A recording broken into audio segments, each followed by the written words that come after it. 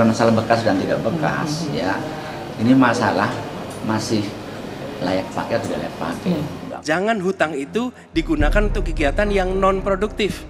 Misalnya, hutang dipakai untuk membeli alutsista bekas oleh Kementerian eh, Pertahanan. Itu bukan sesuatu yang tepat. Justru kita harus sebaliknya yang kita kerjakan. Jadi mohon maaf kaitan dengan hutang, no utang, no usang. Sehingga alutsista kita betul-betul kita lakukan transfer of teknologi dari dalam negeri. narasinya adalah kita membeli alutsista bekas mbak ada penjelasan dari Kemenhan sendiri nggak pak? Saya bilang tadi kan, ya ini bukan masalah bekas dan tidak bekas, ya. Ini masalah masih layak pakai atau tidak layak pakai. Nggak mungkin Amerika alat perang apa pesawat terbang, ya mereka masih jam terbangnya juga masih banyak, masih layak. Kan dibilang Pak Bobi tadi, alat perang itu bisa digunakan sampai 30 tahun. Bahkan kapal induk tadi bisa didesain sampai terus ratusan tahun loh, ya. Ya, nanti yang kita rubah itu masalah CMS-nya, Combat Management System-nya. Itu nanti yang akan kita sinergikan dengan BVNID, ya. Nggak mungkin lah kita akan mencelakakan prajurit kita, ya.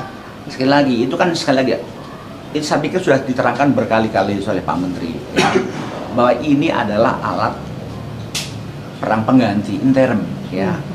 Dalam rangka menunggu kekosongan ya. Saya bilang tadi Rafale yang eh, 42 unit yang GRES yang baru itu nanti akan siap operasional baru 7 tahun akan datang ya. sekarang dalam 7 tahun akan datang itu apa? Kita kosongan. Ya, kalau ada perang besok gimana? Ya? Emang musuh bisa kita tadi jangan, jangan jangan apa tuh? Jangan datang dulu. Emang seperti itu. Ya? Ya kita berdoa tapi kan berdoa juga tidak hanya berdoa saja kan harus ada ikhtiar kan? Ya seperti itu. Kira-kira ya sama lah kalau you punya apa rumah pagarnya bolong ya. Eh mumpung ini apakah anda berdoa? Wah mudah-mudahan ada maling. Biar kosongnya aja nunggu yang baru. Kan nggak seperti itu juga kan? Ya sementara pakai ini dulu lah interim memang itu tidak akan sa- sampai kita pakai sampai 30 tahun. Itu paling hanya 10-15 tahun yang akan datang. Tapi paling sudah menjaga lah ya. Kalau besok ada perang udah siap ya. Ya. Jangan wah nggak ada perang. Itu itu itu mindset seperti itulah yang harus kita tinggalkan. Kita harus siap perang.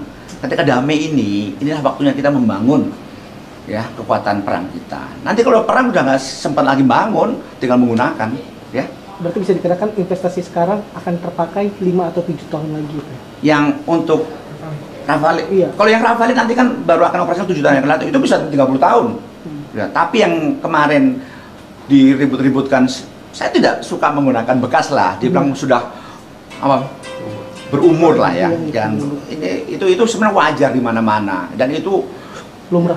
lumrah lumrah. Ada alat perang kita. Bahkan kemarin kan ketika maaf ya ini ada ini ketika perang Ukraina ada beberapa alat perang kita yang sudah pakai mungkin akan di ada negara yang akan membeli untuk persiapan perang Ukraina tapi kita enggak lah kita masih butuh kok seperti itu ya.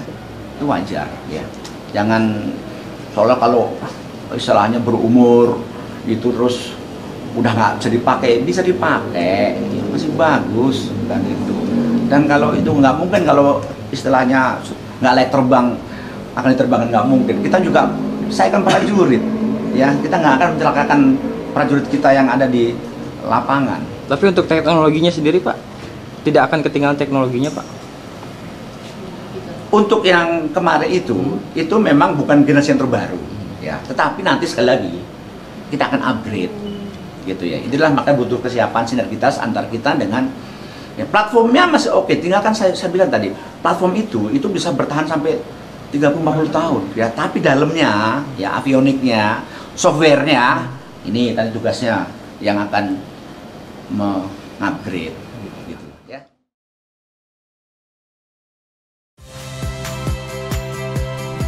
Saya Liviana Cerlisa. Saksikan program-program Kompas TV di siaran digital, pay TV, dan media streaming lainnya. Kompas TV, independen, terpercaya.